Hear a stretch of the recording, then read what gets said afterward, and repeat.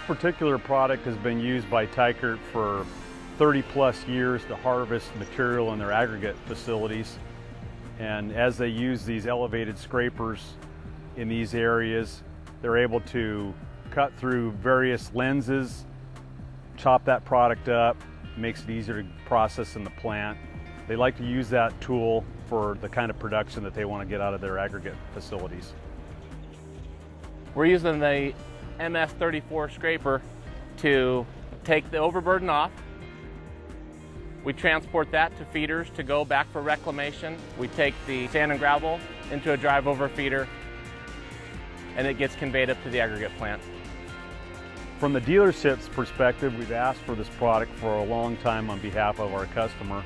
This particular machine, Teichert feels, is critical to their business. They've asked for it to be put back in production. Holt of, California has been very instrumental in convincing Caterpillar to figure out a way to produce this machine again. And between Caterpillar and Mega, they came up with a solution that uh, is is excellent. A Level 2 licensing agreement is a um, marketing and a commercial agreement between OEM Solutions or Caterpillar and an OEM. And what that offers is the OEM the opportunity to utilize and leverage the CAT brand.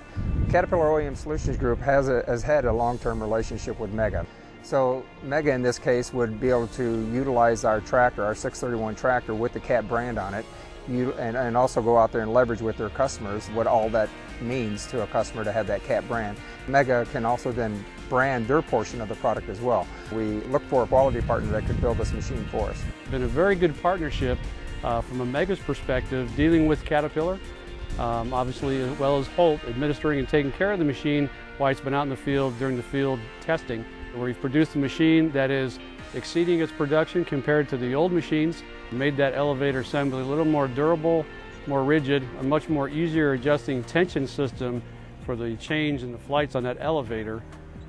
Also with its capability to go ahead and raise up when large objects come into the cutting area jump over that, go back into the material, continue to lift the material and fill that bowl up. It also has a rotating floor versus a sliding floor. This has done a lot of things for grizzly operations. It works very, very well. Dump on the spot. It also has taken away some of the maintenance requirements for a sliding floor. The rotating floor, not much happening there. Not a lot of things to wear out, but very, very durable. The walls of the bowl is also a cellular design, similar to like a wall in your house to a certain point. It's very durable with the liners on it. It does last a long time.